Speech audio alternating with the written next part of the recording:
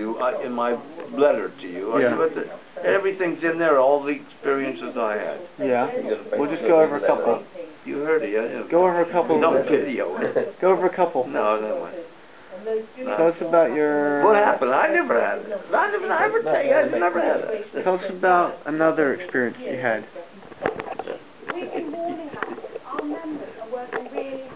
This, this station Tell is off the air, and the off the air, this is off the air. Tell us another experience No, had. this is off the air, and it's bedtime. Bedtime, night. Tell us another ex- uh, spiritual don't know. experience you had. You had an animal. Your oh, grandpa about Lou, the healing. grandpa Lou, Tell us about the healing experience your grandpa Sandra. Lou had an experience. What was that? Ghost. What was that? They used to travel selling tools across the United States. He was going through somewhere back east, and it was uh, winter time. Yeah. Had a car full of tools, and it's going through um, a forest area, and he suddenly sees this woman run out in the front of the road, and he set to swerve. He almost, and he knew he he thought he hit her. Got out of the car, went back, he couldn't find her anywhere. Got into the next town, and he reported that he'd hit someone. And they, said he described who he saw, and they said that you just saw a ghost. Hmm. She's well known in the area. Can you describe um, in And when I told him about it, he didn't remember. can you describe in detail He about told me. that the UFOs and how old you were, where it was exactly when Wait you a minute, saw I it? don't know. It was in the sky. Can you tell me like how old you were and wh- where you were? I was 14 years old. Yeah. I was sitting. I was. I was standing on the back porch of your grandma Edith's house and our grandpa Right. And looking up, and I had my binoculars. They just got my your grandpa Lou got me binoculars. He's got me these binoculars, and I was out there looking up there, and suddenly saw these these uh, three or four lights suddenly, and I thought, oh, it was an airplane flying over. And then one one shoots this way, one's going that way, one's going this way. And I said, no way is that a plane, because they're shooting different directions. And they're going around and hovering and going like this very slowly. And then after about maybe five minutes, they just shot off, disappeared completely out of the sky.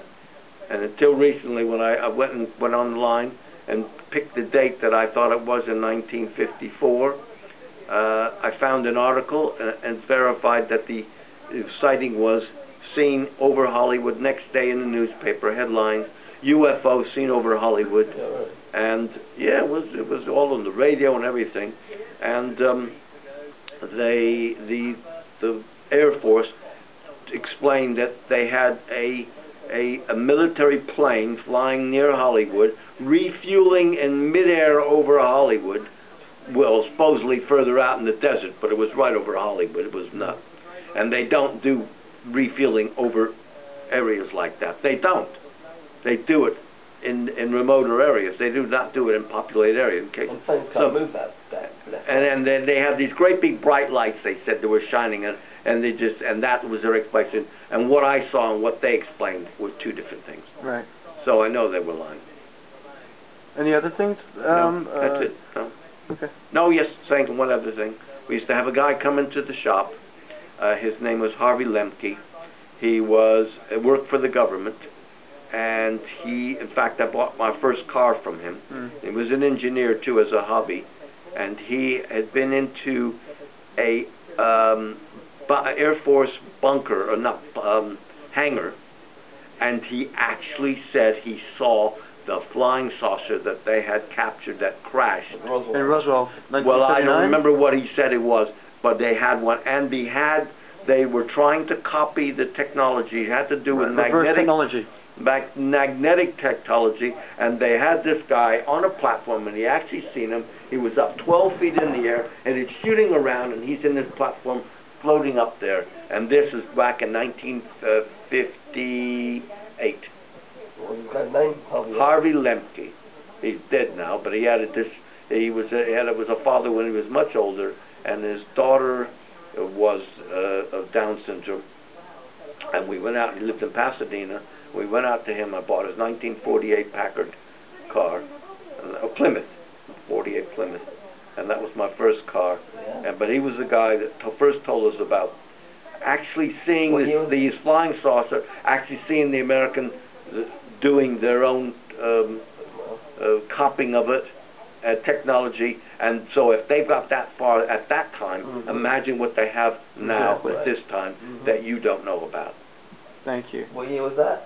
What year was that? 1958. And what year? Roswell was 19. 39. Okay. Yeah, well, I don't know if this was a Roswell or another saucer. that Right, they this is another land. This is other land. They yeah, they're lot- every day. They're they- seeing they- every they probably had loads of crashes. Mm-hmm. You see, they, you know, not all of them were good drivers, pilots. So, they used to get drunk on the job, you know, all these dimensions. The guy, he says, well, what dimension, am I third or sixth? Oh, wow, wee! See? Peace out. Okay. There you go. And that is the end of today's story. That's the story of Harmony. I know that one